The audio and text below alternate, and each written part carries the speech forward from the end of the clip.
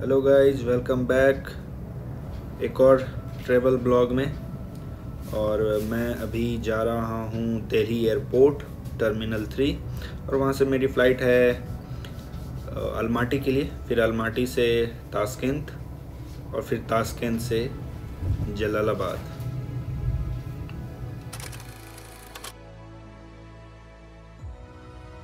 जे पे केसी करके है भाई है उज्बेकिस्तान सो मैंने बोर्डिंग पास ले ली है और अभी लोग गेट नंबर 14 बी के तरफ़ जा रहे हैं। और अभी हुआ यूँ कि सामान जो है वेट का वो एक दो केजी एक्स्ट्रा था तो वो अरेंज करने में थोड़ा वो हो गया और गलती से एक फ़ूड पैकेट मेरे बैग में रह गया तो अभी कस्टम में जो उन्होंने बोला, क्या है आपके बैग में? तो मैंने कहा कि ये फ़ूड पैकेट है, एक चिप्स था और एक हॉर्लिक्स का पैकेट था तो उन्होंने फिर वहाँ पे एक पतली सी डिटेक्टिंग मशीन थी, उससे डिटेक्ट करके फिर उन्होंने वापस कर दिया। मैं तो डर गया था कि क्योंकि ढेर सारे मसाले लेकर आया हूँ और खाने के आइटम्स तो इस वजह से। और इस बार ये कुछ शॉप्स जो है नए दिख रहे हैं। ये नए दिख रहे हैं या मैंने पहली बार देखे हैं एयरपोर्ट पे। ये टेड बेकर्स लंदन ये मैंने पहली बार देखा है यहाँ पे। बाकी तो एज यूजल जो सारे शॉप्स थे। गाइस आप लोग देख सकते हैं क्रिकेट के फ़ैन ये हमारे क्रिकेट के फ़ैन हैं। और उधर देख सकते हैं ये श्रीलंका मैच जीत चुकी है। अरे भाई इंडिया हार गया चलो ना।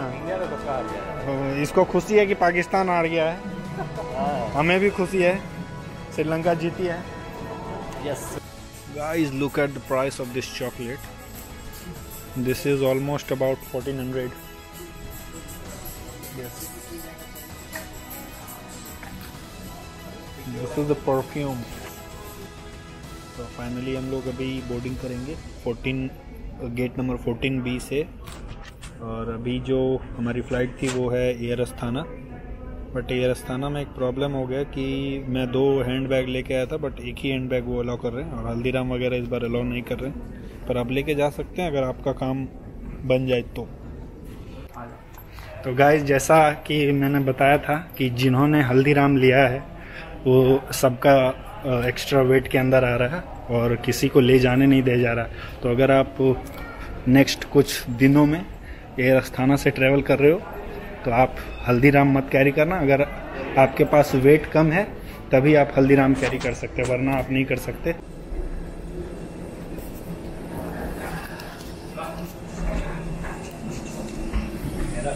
सो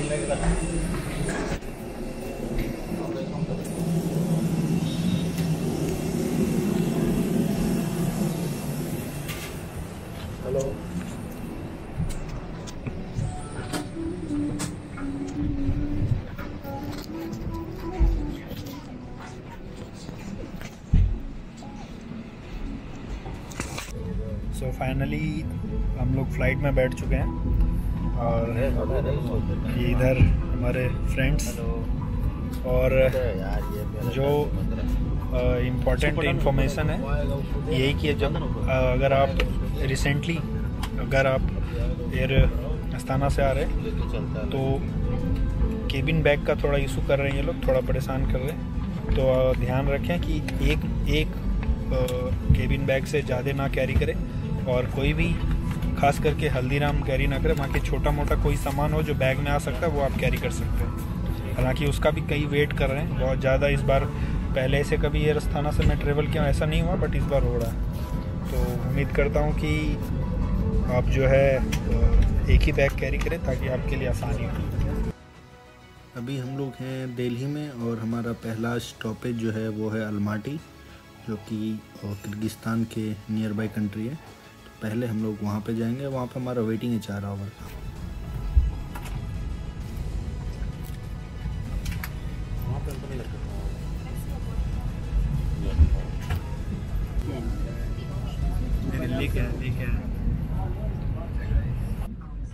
और इस बार जो कुछ नई चीज़ें मैं देख रहा हूँ वो है कि जो पहले इन्फॉर्मेशन सामने से एयर होस्टेस देती थी अब वो डिस्प्ले पे आता है।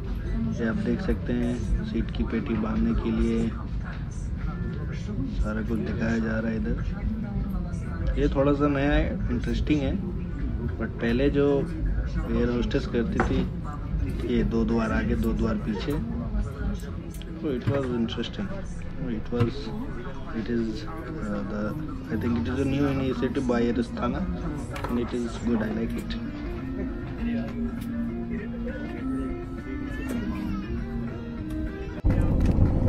चलिए, हमारी जर्नी शुरू हो गई है अब। ये दूसरी बार है जब मैं रात में सफ़र कर रहा हूँ। और पहली बार मैं और मेरे दोस्त जो है दुबई से जो बिस्केक आ रहे थे, तब जो है रात में सफ़र किए थे।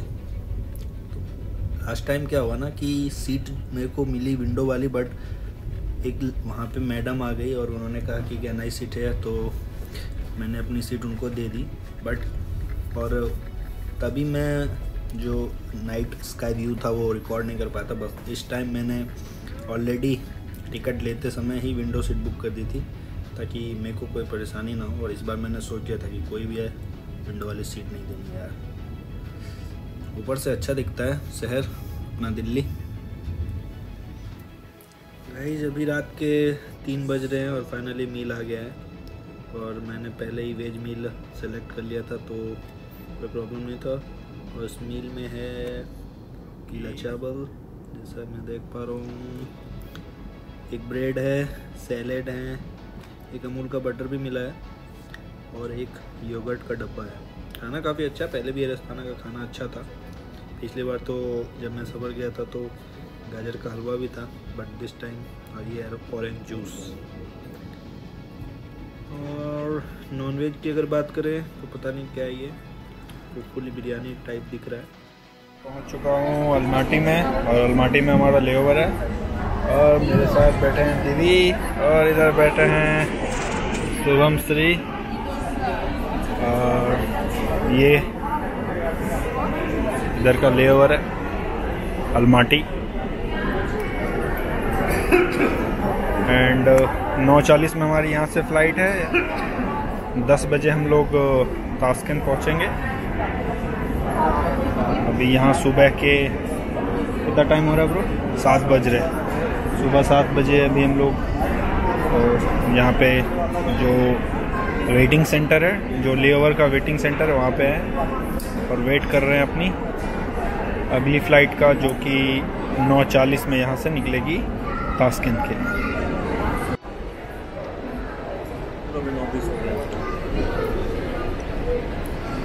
गए जी वो सामने जो है कुमार सानू जी हैं। अभी उनसे मुलाकात हुई, एक फ़ोटो हुआ। तास, तास्किन में उनका उनका कंसर्ट है। अगर कोई तास्किन में है तो जाके ज़रूर देखें। सो so फाइनली अभी हम लोग फ़्लाइट में बैठ चुके हैं। और इस फ़्लाइट में हमारे साथ कुमार सानू भी जा रहे हैं, जो कि बिज़नेस क्लास में बैठे हैं। और ये फ़्लाइट अभी खुलेगी नौ टाइम अभी हो रहा है दस। सुबह के दस बज रहे हैं और हमारी फ़्लाइट टेक ऑफ़ कर चुकी है तास्कन के लिए।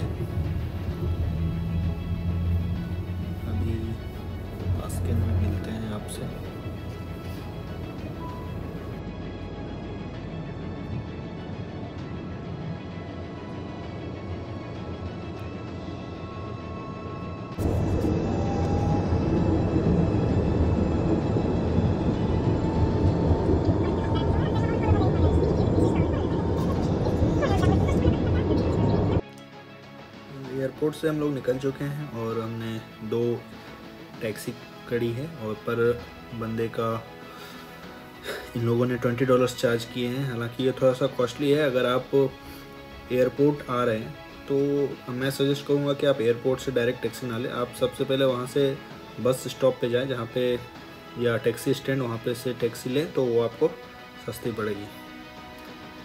और अगर इससे आओगे तो ये लोग टूरिस्ट समझ के ज़्यादा चार्ज करते हैं आपको hey guys it's raining in the तोस्केन and we are in the downtown going towards the border and weather is too bad too bad Hopefully we can reach our home tonight. Hopefully.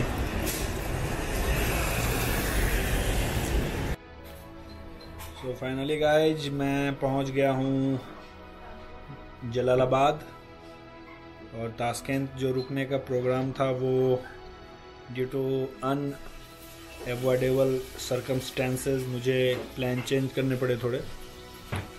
और, अभी मैं अपने दोस्त के यहाँ रुका हूँ। और फ्लैट अभी ढूंढूँगा, फ्लैट अभी मुझे मिला नहीं है यहाँ पे। और क्योंकि अभी काफ़ी स्टूडेंट्स आ गए हैं तो थोड़ा सा रस है यहाँ पे फ्लैट के लिए। और, बाकी जर्नी कहूँ तो सही था। ताशकंद ना घूम पाने का थोड़ा दुख है, बट तो क्या कर सकते हैं? अब अब, अभी यहाँ पे आ गए हैं तो अभी क्लासेस वगैरह, आज क्लासेस थी तो सुबह सुबह क्लासेस गया, एक ही क्लास थी हालाँकि। बट कल से क्लासेस रेगुलर हो जाएगी और एम सी क्लासेस भी बीस से चालू है। तो अभी बाकी अब जो है देखते हैं। नया फ्लैट मिला तो फिर वो भी दिखाऊँगा आप लोगों को बट अभी तो फ़िलहाल मैं अपने दोस्त के यहाँ पे हूँ। चलिए फिर मिलते हैं नेक्स्ट ब्लॉग में। सी यू दस विदानी